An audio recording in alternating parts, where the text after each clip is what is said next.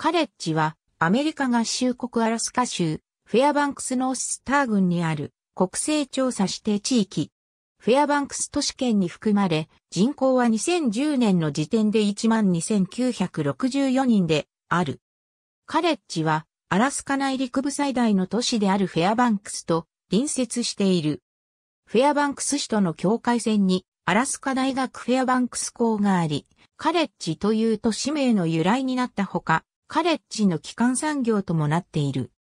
独立した自治体としてではなく、フェアバンクスの一部として扱われることも多く、防災と救急に関しては、ワフが、公安に関しては、ワフの公安部門とアラスカ州警察隊が共同で行っている。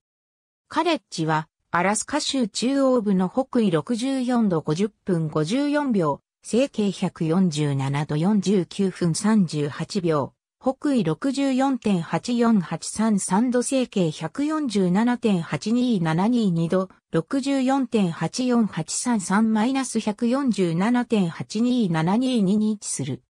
アメリカ合衆国国勢調査局によると、自治体面積は49.5京平方メートルで、うち48.4京平方メートルが陸地、1.1京平方メートルが水域である。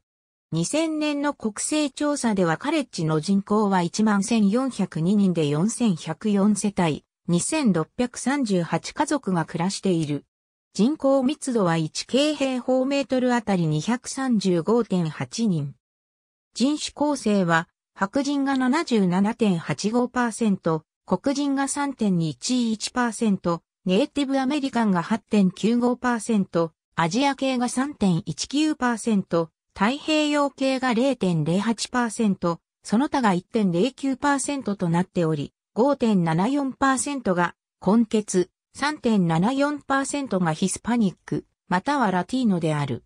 4104世帯のうち37.1%の世帯に18歳以下の子供がおり、48.0%が夫婦が共に暮らしている。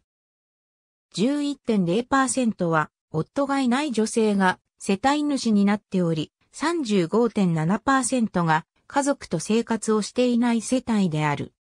一人暮らしの世帯は25.7%で、65歳以上の老人が一人で生活をしている世帯は3.2%に上る。一世帯の平均構成人数は2.6人、一家族の平均構成人数は3.13人である。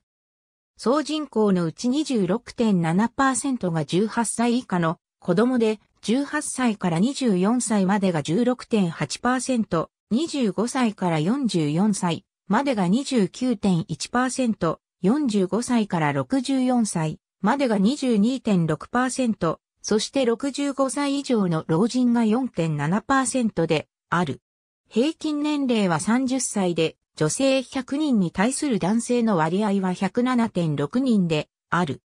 住民1人当たりの所得は23,381ドルで、1世帯の平均年収は56,560ドル、1家族の平均年収は69,969ドルである。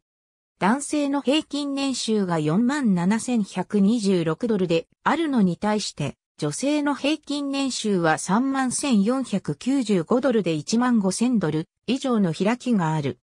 人口の8.2%が貧困線を下回る生活をしており、このうち8.2%が子供、4.8%が老人である。アメリカンファクトファインダー US センサスビューロー2011年2月4日。ありがとうございます。